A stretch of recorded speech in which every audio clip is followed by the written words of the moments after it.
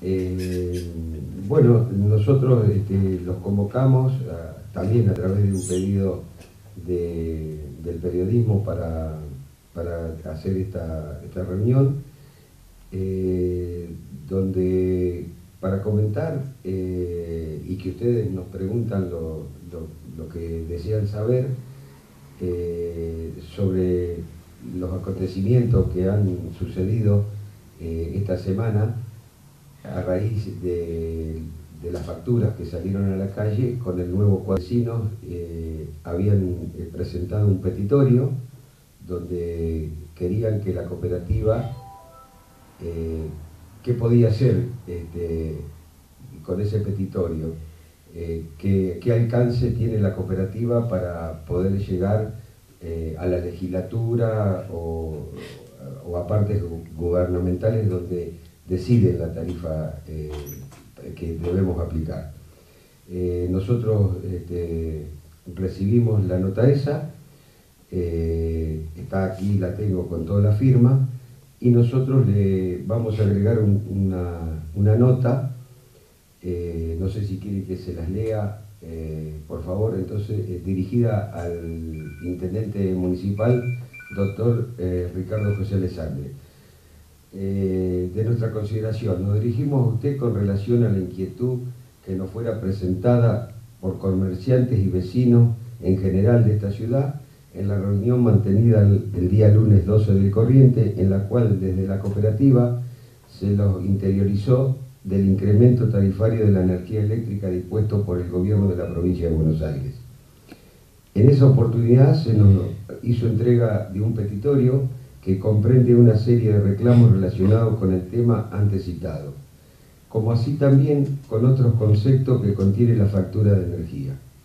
A lo expresado en el petitorio se nos pidió en forma verbal por parte de los presentes que se incorpore el reclamo vinculado a la reimplantación de la aplicación de las leyes provinciales 7290 y 9038 con el objeto de que se gestione ante que corresponde la reducción o eliminación de las mismas.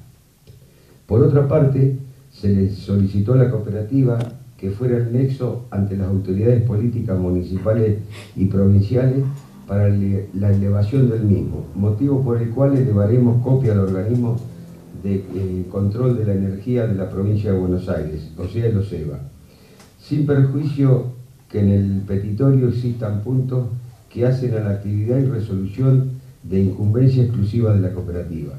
Atento que se trata de un documento único, es que procederemos a su elevación completa a fines de que usted entienda corresponder, quedando a su disposición. ¿Está en conocimiento que en otras ciudades se ha hecho algún petitorio similar y qué alcance tuvo?